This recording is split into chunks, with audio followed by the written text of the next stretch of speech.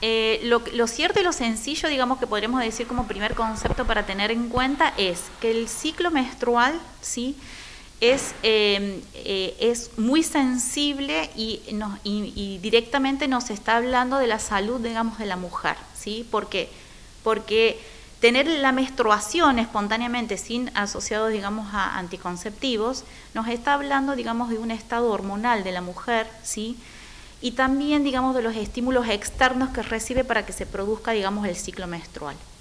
Entonces, si tenemos en cuenta eso, nosotros lo que podemos decir es que en determinadas situaciones de estrés, como por ejemplo puede ser en este contexto una pandemia, puede provocar en aquellas mujeres que no consumen anticonceptivos, ¿sí?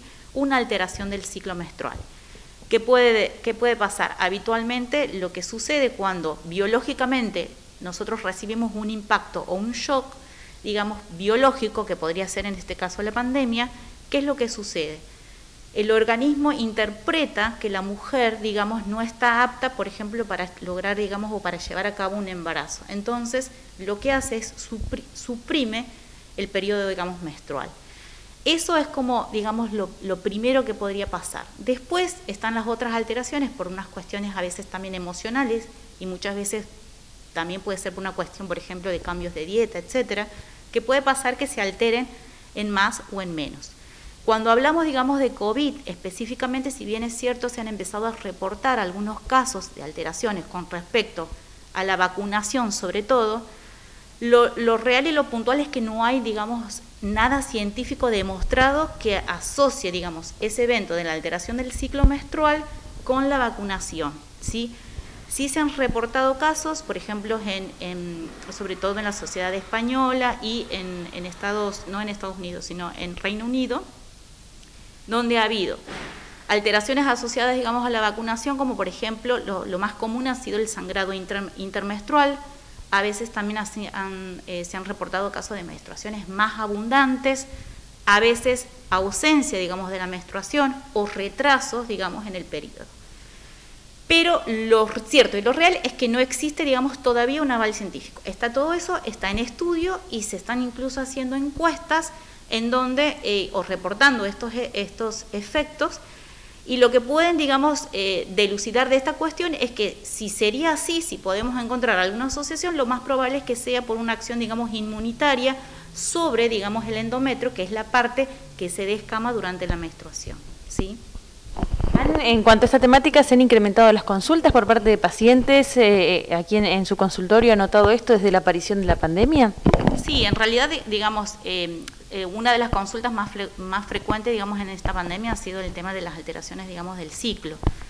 Que si bien es cierto, también, digamos, todo lo que es la cuestión, digamos, este, hormonal, digamos, ha sido un impacto para, para todas las mujeres porque la mayoría al estar, digamos, en aislamiento y al estar el cuidado de los hijos, también ha sufrido, digamos, un, impacto no solamente desde, la, desde lo que es el ciclo menstrual, sino también de, de, la sexualidad, ¿sí? sobre todo digamos en las parejas, eso también ha habido un, impacto y en realidad eh, podríamos digamos decir que dentro del ciclo menstrual son, son estas cuestiones que se van agregando. ¿no?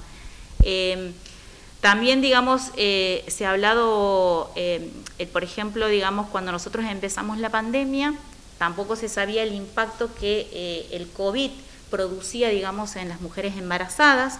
Hoy podemos decir que eh, las embarazadas siempre estuvieron dentro del grupo de riesgo, pero al principio era como que eh, se las ponían, digamos, como grupo de riesgo, pero sin saber exactamente cuál es el impacto que producían, digamos, en las mujeres embarazadas. Hoy en día sabemos, y en realidad que por eso también se empezó el abordaje de la vacunación, ¿sí?, ¿Por qué? Porque antes se empezaban a, vacunar las embarazadas que estaban en periodo, digamos, de riesgo, es decir, asociado aparte del embarazo a otras patologías. Hoy en día eso se extiende.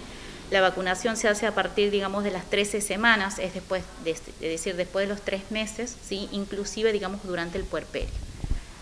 ¿Por qué? Porque se ha visto que existe una, eh, mala evolución en algunas mujeres, ¿sí? donde complican no solamente, digamos, eh, el embarazo, sino el, el, riesgo, digamos, materno, ¿sí? Incluso este, hace eh, unos días se recibió, digamos, una muerte materna por eh, asociado, digamos, a, COVID, una infección post-COVID. Entonces, eh, lo que hace realmente el, COVID a nivel, digamos, este, eh, sobre todo en la embarazada, es aumentar el, ese, estado de hipercoagulidad que normalmente tiene, digamos, aumentada la embarazada, entonces esto es como que potenciaría. Por eso es que se toman algunas medidas cuando las mujeres con, están con, digamos, con COVID. Si bien es cierto, es un, es un seguimiento que se puede hacer incluso si no, si no tienen ningún agregación como dificultad respiratoria, eso se hace un seguimiento, digamos, ambulatorio, ¿sí? Pero tenemos que tener como más alertas que son pacientes que se pueden complicar, ¿sí? Bueno, en principio una enfermedad de la que no se sabe mucho, que se está, que, pero que sí se está estudiando demasiado. Eh, por lo pronto, cualquiera de, los síntomas que pueda aparecer, de los que estuvimos hablando, no deja de ser eh, dentro de los parámetros normales y que van a estar eh, siendo estudiados, pero nada que afecte al desarrollo normal y al buen desarrollo de nuestro organismo. Exactamente, todos los cambios que se han detectado con respecto, digamos, específicamente al ciclo son cambios transitorios y que generalmente están, eh, una vez que pasa, digamos, este evento, la mujer recupera, digamos, su ciclo normal.